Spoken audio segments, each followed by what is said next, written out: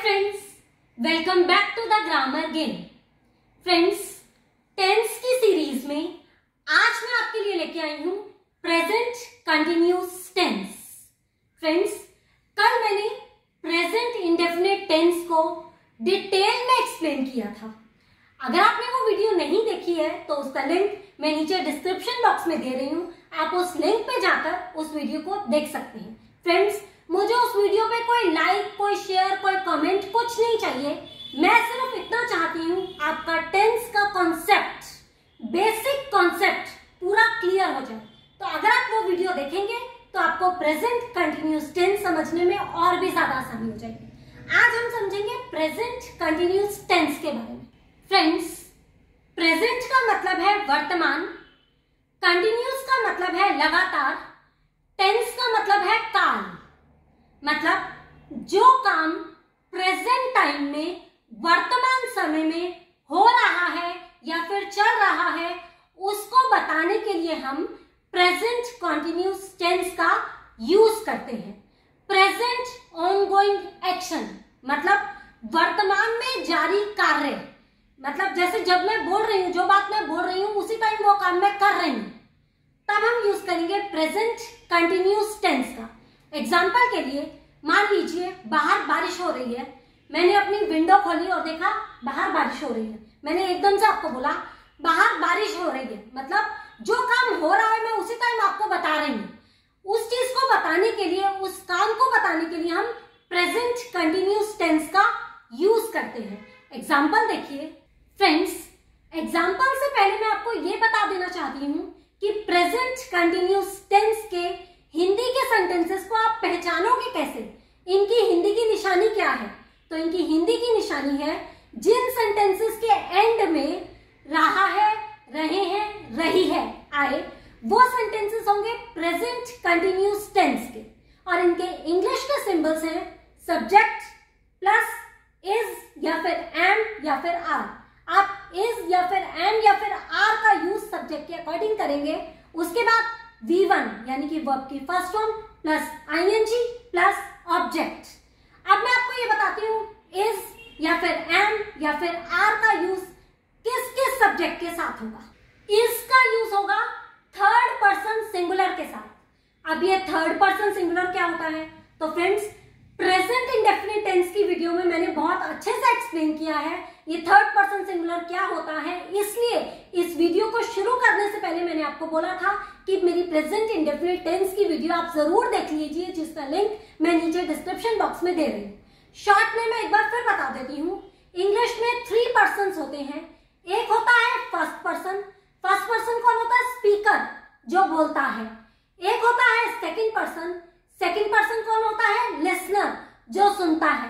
और एक होता है थर्ड पर्सन थर्ड पर्सन कौन होता है? कोई तीसरा व्यक्ति जिसके बारे में बात हो रही हो।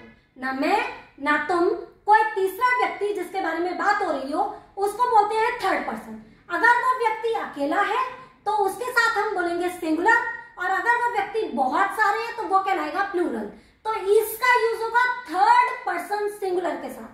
अब ये थर्ड पर्सन सिंगुलर कौन होते हैं? ये होते हैं ही या फिर शी या फिर इट या फिर किसी का नाम। लेकिन एक ही व्यक्ति का नाम, बहुत सारे व्यक्तियों का नाम नहीं, एक ही व्यक्ति का नाम। तब आप यूज़ करेंगे इस का। एम का यूज़ होगा आई के साथ। और आर का यूज़ होगा यू या फिर दे या फिर वी या फिर प्लूरल सब्जेक्ट्स के साथ। यानी कि ऐसे व्यक्ति जो एक से ज़्यादा होंगे, तब आप यूज़ करोगे आर का। एग्ज़ाम्पल से और अच्छे से क्लियर हो जाएगा तो एग्ज़ाम्पल समझिए। मैं टीवी सीरियल्स देख रही हूँ। अब सब्जेक्ट और सब्जेक्ट के अकॉर्डिंग इज़ या फिर एम या फिर are plus V one plus I N G plus object लगा के हम कैसे इस सेंटेंस को बनाएँगे, देखिए। सब्जेक्ट क्या है? मैं। मैं क्या? आई। आई के साथ आपने क्या लगाना है? इज़ या फिर एम या फिर आर में से एम। आई के साथ मैंने आपको बताया एम का यूज़ होगा तो हमने क्या लगाया? आई, एम, क्या कर रही हूँ? टीवी सीरियल्स देख रही हूँ। फ्रेंड्स यहाँ पर टीवी सीरियल्स देखने के लिए जिस इंग्लिश वर्ड का यूज़ होता है, जो वर्ब यूज़ होती है, वो है वॉच तो वॉच के साथ, यानी वर्ब के साथ आपने किसका यूज़ करना है? आईएनजी का. तो क्या बन गया? वॉचिंग आई एम वॉचिंग क्या देख रही हूँ? TV serials I am watching TV serials ये हमारा सेंटेंस तैयार हो गया. एक और सेंटेंस देखिए. मेरा भाई फुटबॉल खेल रहा है. अब यहाँ पर सब्जेक्ट कौन है? मेरा भाई. क्या इंग्लिश माई ब्रदर वो क्या कर रहा है? फुटबॉल खेल रहा है। तो हमने पहले क्या यूज़ करना है? सब्जेक्ट के अकॉर्डिंग इज़ या फिर एम या फिर आर का। माई ब्रदर कौन है? थर्ड पर्सन सिंगुलर ना मैं, ना आप। कोई तीसरा व्यक्ति, वो भी अकेला मेरा भाई कोई तीसरा व्यक्ति है और एक ही है तो हम यहाँ पर क्या यूज़ करेंगे? इस का। क्यों? मैं आपको बता चुकी हूँ। थर्ड पर्सन सिंगुलर के साथ हम इसका यूज़ करेंगे। अब माई ब्रदर इज़ क्या कर रहा है? फुटबॉल खेल रहा है। खेलने की इंग्लिश प्ले। प्ले के साथ हमने वर्ब की फ़र्स्ट फॉर्म प्ले हो गई, साथ में क्या ऐड करना आईएनजी तो क्या बना? प्लेइंग क्या खेल रहा है? Football my brother is playing football sentence आपका तैयार। एक और एग्जांपल देखिए। वे सो रहे हैं। सब्जेक्ट कौन है? वे।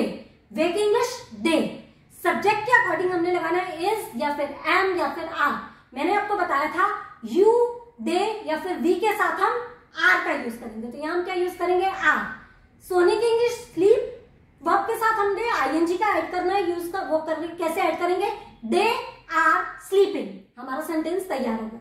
तो फ्रेंड्स आप जो जो काम अभी के अभी इसी वक्त कर रहे हैं, आप बनाते जाइए, बताते जाइए और कमेंट बॉक्स में कमेंट करते जाइए। जैसे बारिश हो रही है, अभी के अभी हो रही है इट इज़ रेनिंग हवा चल रही है विंड इज़ ब्लोइंग आप कूद रहे हैं यू आर जंपिंग आपकी मम्मी खाना बना रही है your mother is making food ऐसे करके आप कितने ही सेंटेंसेस प्रेजेंट कंटिन्यूस टेंस के बना सकते हैं।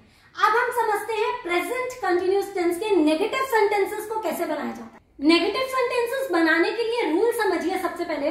तो हमारा रूल है सब्जेक्ट प्लस इज़ या फिर एम या फिर आर जो कि सब्जेक्ट के अकॉर्डिंग यूज़ होगा प्लस नॉट आपने इज़ या फिर एम या फिर आर के बाद नॉट का यूज़ करना है और उसके बाद वही सेम वर्ब की first form plus I ING plus object है ना कितना सिंपल बस आपने हेल्पिंग वर्ब के बाद नॉट का यूज़ करना है। एग्ज़ाम्पल देखिए। मेरे पिताजी अखबार नहीं पढ़ रहे हैं। अब मेरे पिताजी कौन है? थर्ड पर्सन सिंगुलर ना मैं, ना आप, कोई तीसरा व्यक्ति और वो भी अकेला। तो my father third person singular के साथ आप इज़ एम आर से क्या यूज़ करेंगे? इज़ ये मैं आपको बता चुकी हूँ। माई फादर इज़ नॉट मैंने रूल में बताया आपको हेल्पिंग वर्ब के बाद नॉट का यूज़ करना है। उसके बाद वर्ब की फ़र्स्ट फॉर्म रीड उसके बाद आईएनजी तो क्या बना? रीडिंग क्या नहीं पढ़ रहे? अखबार. The newspaper my father is not reading the newspaper sentence आपका तैयार है। एक और एग्ज़ाम्पल देखिए। मैं गाने नहीं सुन रही हूँ। सब्जेक्ट क्या है? मैं। आई आई के साथ आप क्या यूज़ करेंगे? एम प्लस नॉट तो नॉट क्या नहीं कर रही हूँ? गाने नहीं सुन रही हूँ। गाने सुनने को इंग्लिश में क्या बोलते हैं? Listen to the songs verb की फ़र्स्ट फॉर्म लिसन साथ में आई एन जी लिसनिंग आगे to the songs I am not listening to the songs एक और एग्ज़ाम्पल देखिए। वे नहीं सो रहे हैं। वे की इंग्लिश दे दे के साथ आप क्या यूज़ करेंगे? आर फ़र्स्ट हेल्पिंग वर्ब के बाद नॉट सोना स्लीप वर्ब की first form plus ING sleeping they are not sleeping हमारे सेंटेंसेस तैयार हो गए।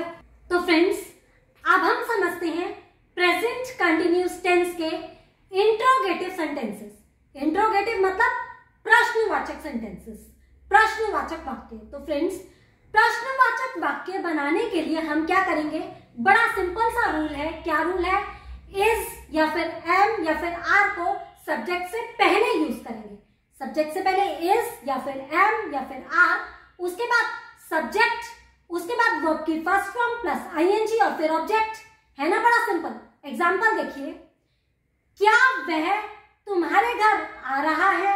अब हमने क्या करना है? इज़ या फिर एम या फिर आर को सब्जेक्ट से पहले यूज़ करना है। सब्जेक्ट क्या है? वह। क्या वह? वह क्या होता है? ही ही के साथ हमें क्या यूज़ करना है? इज़ का। तो इस को हम पहले यूज़ करेंगे। इज़ ही आने की इंग्लिश कम कम के साथ हम आईएनजी यूज़ करेंगे वर्ब की first form plus ING coming to your home is he coming to your home हमारा सेंटेंस तैयार है एक और एग्जांपल देखिए क्या वे रो रहे हैं वे दे सब्जेक्ट हमने पहले यूज़ नहीं करना, हमने पहले क्या यूज़ करना है? इज़ या फिर एम या फिर आर तो वे क्या है? सब्जेक्ट है। सब्जेक्ट जो वे को इंग्लिश में क्या बोलते हैं? दे दे से पहले क्या यूज़ करेंगे हम? आर क्योंकि हमने हेल्पिंग वर्ब जो है पहले यूज़ करना है और आर को हम दे से पहले यूज़ करके कैसे बनाएँगे? Are they weeping weep verb की first form plus ING are they weeping ये है हमारा सेंटेंस तैयार। और फ्रेंड्स इंट्रोगेटिव नेगेटिव सेंटेंसेस में आपने क्या करना है? इज़ या फिर एम या फिर आर को सब्जेक्ट से पहले यूज़ करना है और नॉट को सब्जेक्ट के बाद यूज़ करना है। बस, इस बात को ध्यान रखना इज़ एम आर सब्जेक्ट से पहले और नॉट सब्जेक्ट के बाद। एग्ज़ाम्पल वही सेंटेंस हम ले लेते हैं। क्या वे नहीं रो रहे हैं? अब यहाँ पे सब्जेक्ट क्या है? वे। वे क्या है? दे दे के साथ हम इज़ एम आर में से क्या यूज़ करते हैं? आर तो आर हम पहले यूज़ करेंगे सब्जेक्ट से।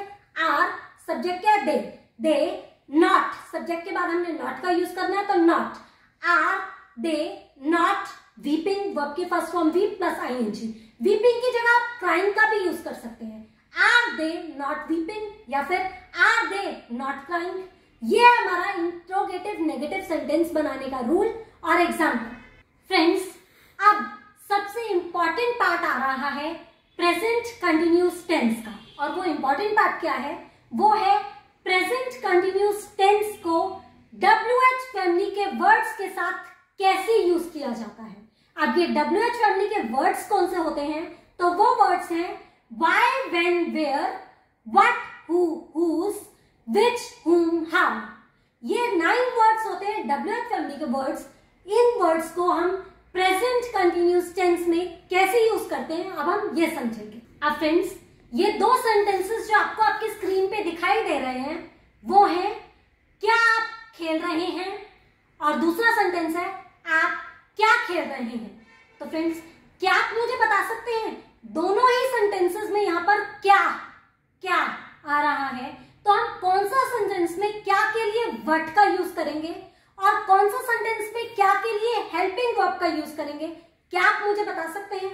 तो फ्रेंड्स यहाँ पर एक रूल यूज़ होगा और वो रूल ये है, ऐसे सेंटेंसेस जहाँ पर क्वेश्चन का जवाब फिर ना में दिया जा सकता हो।